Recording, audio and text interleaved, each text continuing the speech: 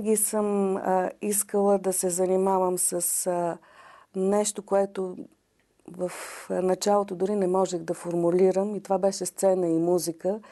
Завършила съм като пианист средното си музикално образование и подребността да се изразявам не само чрез инструмента си, а чрез много хора.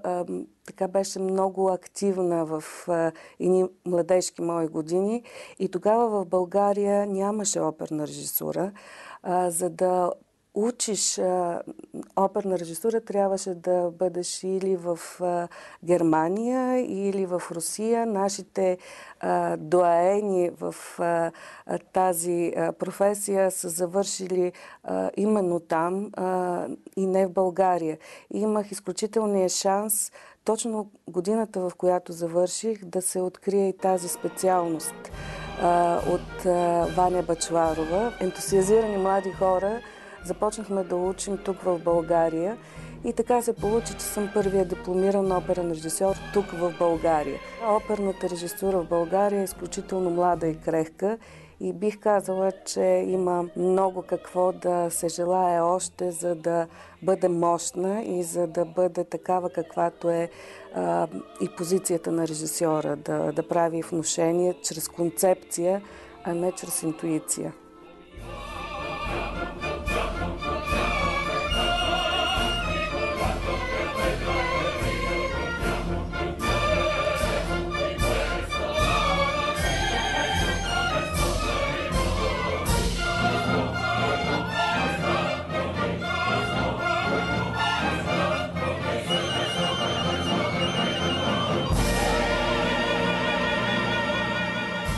Оперната режисура не е нищо по-различно от режисурата като професия. Разликата е, че оперните режисьори работим с музикална драматургия и всичко, което е изследване или анализ на текста, при нас е на музикалната партитура и работим с различни кодове и те са заложени в музиката. Това е хармония, тоналност, мелодия, ритъм, онези изразни средства на музиката, които сами по себе си говорят, когато се съчетаят в една цяла изкусност на композитора.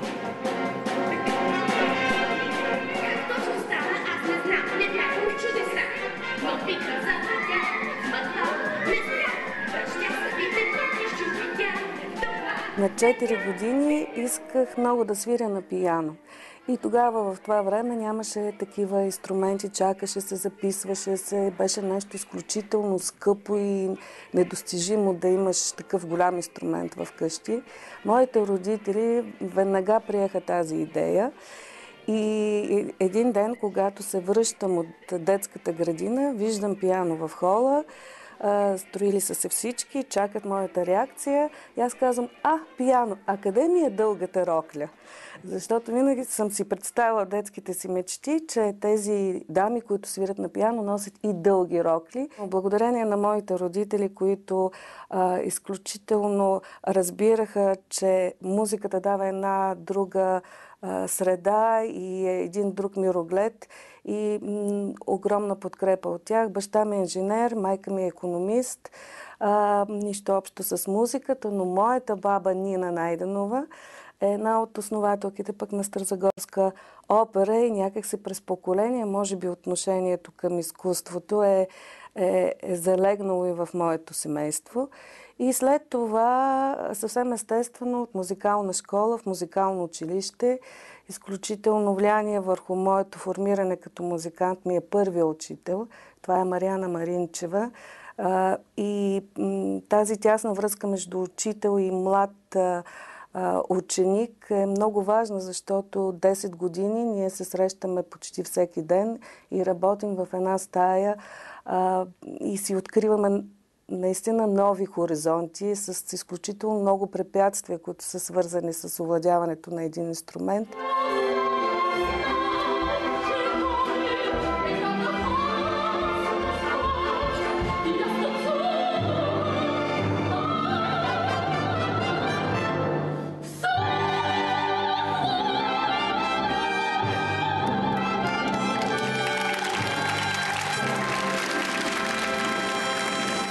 Подкрепата на родителите е много важно.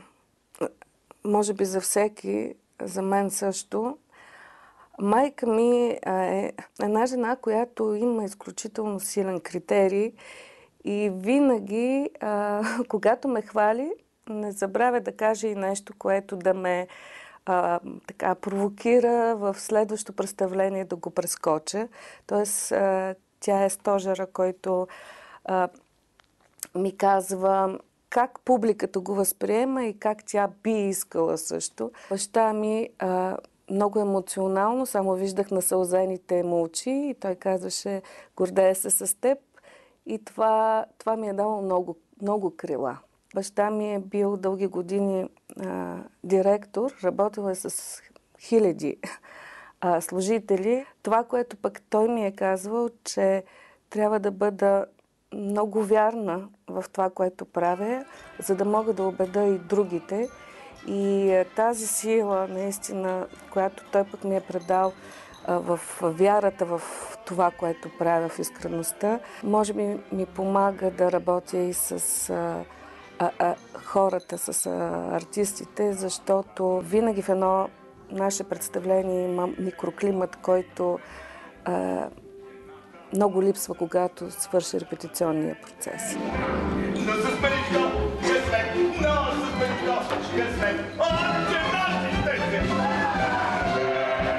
личности са ме формирали в началните години. Това е Мариана Маринчева и след това в университета Ваня Бачварова, която пък ми беше моето гуру в оперната режисура. Самата тя завършила в Германия с цялата педагогическа нагласа за това какво е наистина професията оперен режисьор. Повече от 10 години работих с Ваня Бачварова, така че тези две жени са изиграли изключителна роля в формирането ми на и на личност, и на професионалист.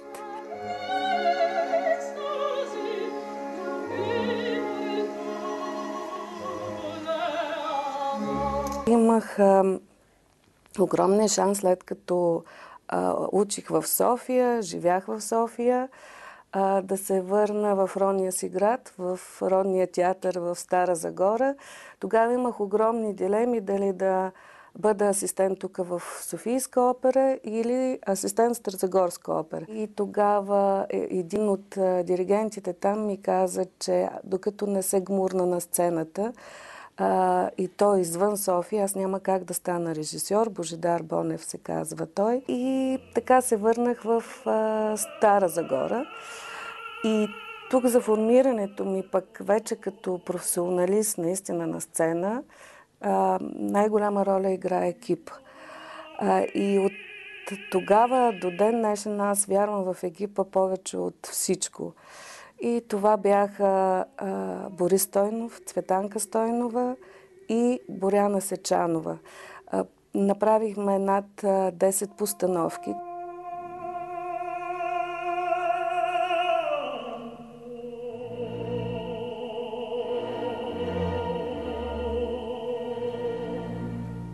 Първото ми представление беше а, приключенията на чуния град на Пинокио. Една а, детска опера на Александър Йосифов. А, и тук може би също е симпатично да се каже, че първото пък произведение, което гледах в живота си, като дете го помня цял живот, беше Тошко Африкански, също на Александър Йосифов. И когато нещата се раждат така, както трябва да се раждат, в а, а, много диалог, в много мислене, в много срещи, в много дори спорове, а, наистина това е един път, който в тези първи постановки ми е изградил изключително първо верния критерий, а, второ честността към това, което правиш, защото няма как темата, която залагаш в едно произведение, да не припознаеш като твоя и като отговорност. И за това аз съм изключително признателна а, за това, че а, толкова много... Те ме отгледаха като, като творец и те ме създадоха като творец.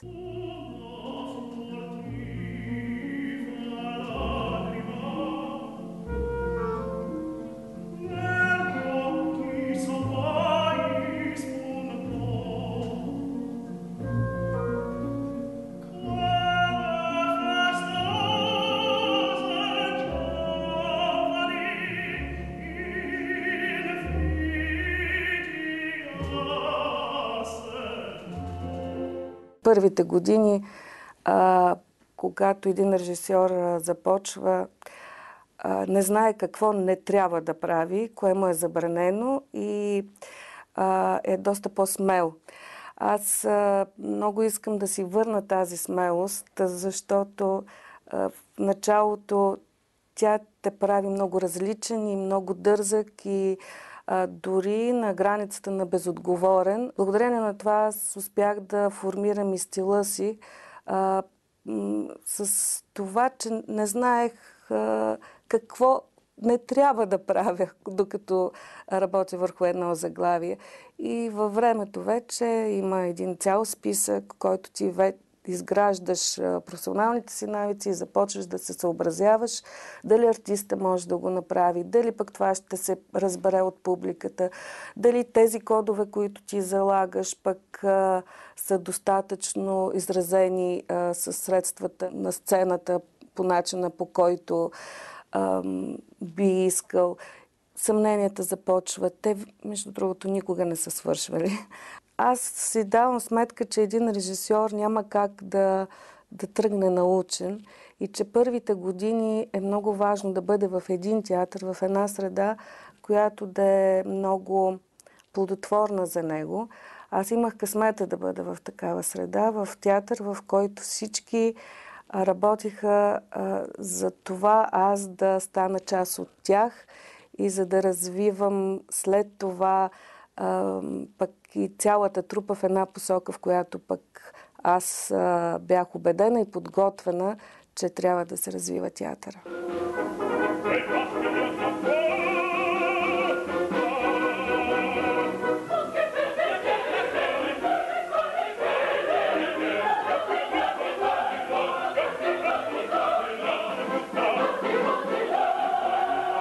Първата ми постановка беше в едно читалище на гарата, където най-високата температура зимно време беше 15 градуса.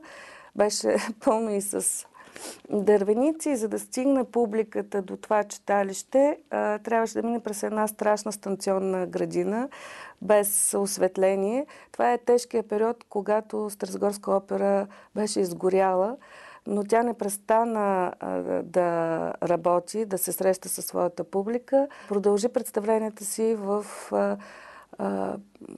културния дом на транспортните работници. И всъщност в едни много тежки условия започнах като режисьор. След това операта премести представленията си в драматичния театър, една сцена за която Гена Димитрова беше казала какво излизам на сцената и, бъл... и носа ми опирал балкона. Това пространство пък роди изключителни решения. И а, благодарение на Боби Стойнов успяхме да направим такова сценично решение, че а, да стои съвсем естествено. И примерно представлението Макбет, което се роди в едни много сложни години, които пак се говореше за власт, за политика, за онзи живот отвън, който е ненормален, а, се изигра над 70 пъти в този театър. И не само в този театър, а в а, а, и други театри в България. Успя да отида на турне в Америка, в Германия, в Италия, в Франция. Първите постановки, които направих, а, бяха много големи за един млад режисьор. Големи като, като теми. Това са Макбет, Дон Карлос и, и Бътърфлай.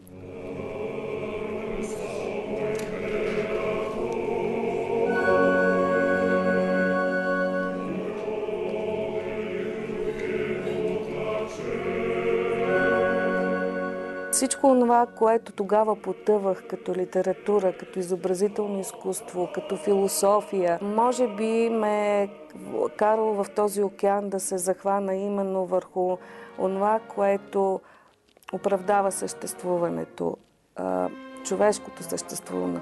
И драмата в Дон Карлос, която е изключително голяма и лична, и политическа, и стремежа към власт. Същото е в Макбет. Докато стигнем до една много лирична тема в а, много силна и актуална в а, Мадам Бътърфлай, където една жена, една момиче има една голяма мечта и тази мечта, когато рухне, единственият изход е честа и самоубийството.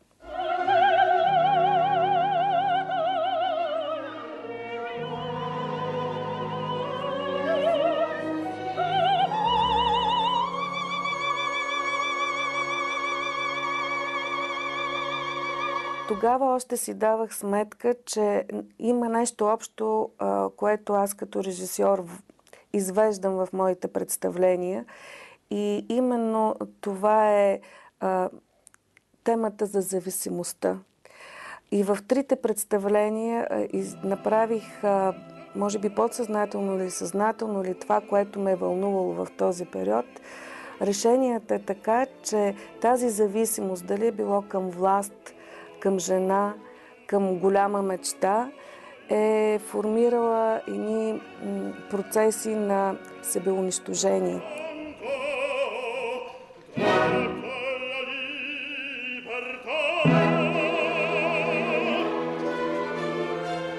Тези големи теми съм успявала да ги изведа. След това а, направих собствен анализ на точно този период в един категоричен режисьорски знак. Разработих а, един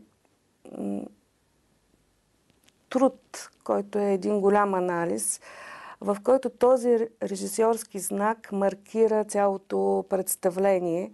Нарекох го за себе си резнак от режисьорски, от кралски, от повтарящ се частицата R, изписването. И този знак става доминантна а, визуална а, фигура в цялото представление. И тази зависимост а, тогава наистина е, ме е обсебила и мен самата. Зависимостта като обсебване беше дълъг период от време в моите постановки. И слава Богу, че приключи и преминах в друга една вълна. Вече се обърнах към, към публиката си по, по, с изразните средства на смеха.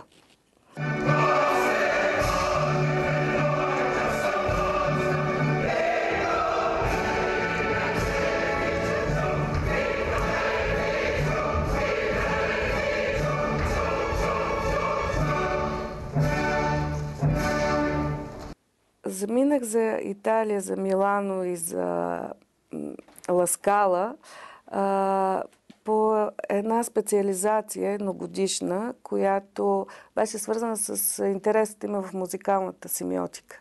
Имах изключителния шанс да се обучавам и в университет, и да присъствам на абсолютно всички репетиции и да се срещна с изключителни личности в Ласкала. Много важно е да усетя тази италианска култура, този италиански дух, който прави италианската опера. А, всичко, което бях правила преди това, избледня в момента, в който срещнах тази темпераментност, в момента, в който влязах в къщата на Верди, в момента, в който усетих бита и културата на, на италианския човек.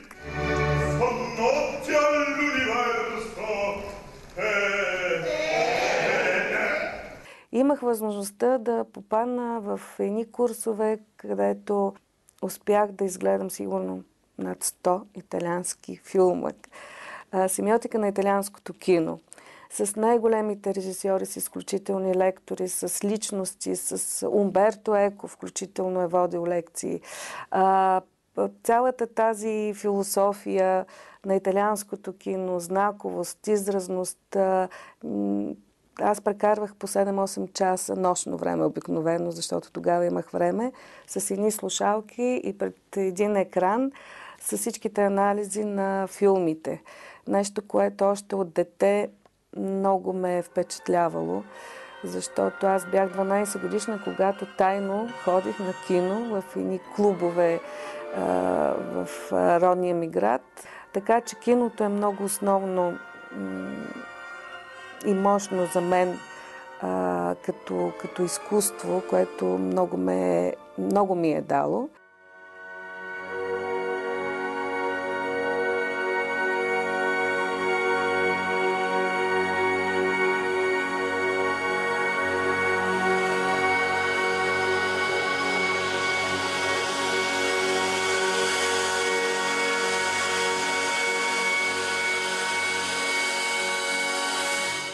Бях респектирана от традицията, от отношението, от имената и от това, че ходейки по коридорите, ми казваха, а, това е ученичката на Гена Димитрова. А защо на Гена Димитрова? Защото Гена Димитрова ме представи пред ръководството на Ласкала а, и каза, моето момиче, сега ти хубаво тук ще учиш, но сега ще казваш, че си моя ученичка, защото като кажеш, че си моя ученичка и навсякъде ще те пускат.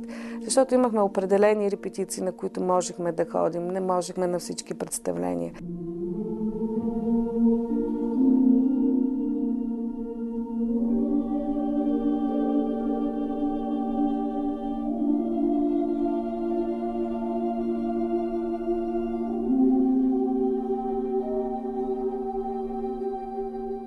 Когато Макбет трябваше да се представи на чуждестранни гастроли, той беше роден в Стара Загора на една 6-метрова сцена. Пътя мина през няколко още български театъра, през Америка, през Германия, Италия и стигна до голямата сцена на Заутсбург – на Фес Шпиле Заутсбург. Това е така известният театър на Караян, където отвора започва от 24 метра. А, не мога да ви опиша колко а, се притеснявах как това представление ще се адаптира в тази среда. Но за наша голяма радост а, критиката, защото там има много силна и много професионална критика, излезе с възторжена рецензия за това представление и за това си давам сметка, че когато ти залагаш в представлението тази тема, която вълнува и която е важна, независимо пространството, в което играеш, тя звучи важно и актуално. така че в тази голяма сцена в Заутсбург успяха да се изиграят три мои заглавия Макбет, Тон Карлос и Турандот.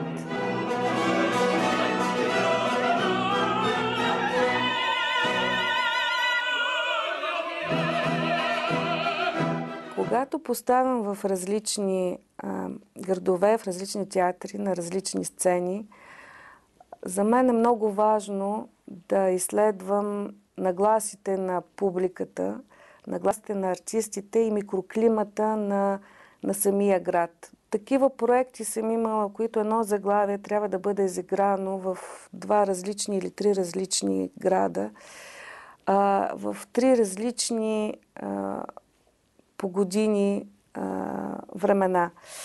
И трябва да ви кажа, че абсолютно е невъзможно да направиш универсално представление и че всеки град има своите натрупвания и като традиции, и като а, социални нагласи на, на своята публика. Много внимателно а, работя на, на различните сцени.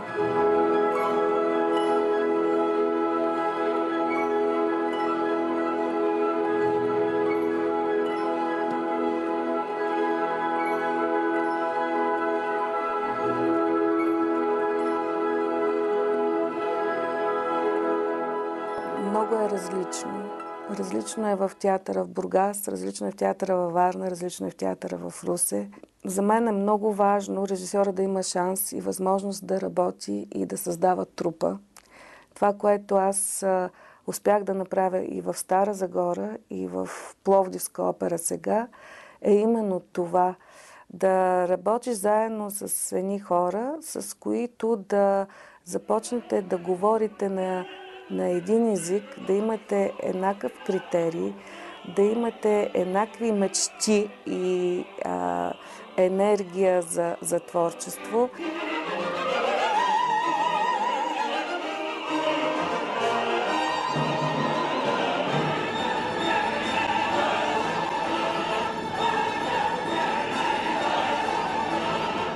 Трябва ти общност, която да формираш не с едно представление, с много представления, за да а, може наистина всяко едно следващо да е енергийна бомба от своята цялостност. Каня артисти да работят в театъра за, за по-дълго време. Подбирам именно тези, с които са като система отворени и могат да бъдат в както отворени, така и в една затворена а, общност, която, която аз наричам наистина племе. Тоест трупата, която можеш да водиш в, в една посока.